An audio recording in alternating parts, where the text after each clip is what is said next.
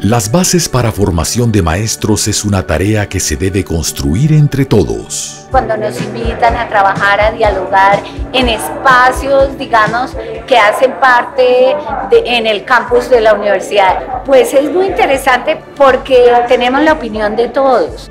Porque escuchar cada una de sus voces es la mejor manera de construir nuevos rumbos para la educación. El ejercicio de construcción colectiva de plan de desarrollo institucional es importante que pueda tener la mayor cantidad de voces. Un espacio para reflexionar sobre la educación desde diferentes perspectivas. Historias con futuro.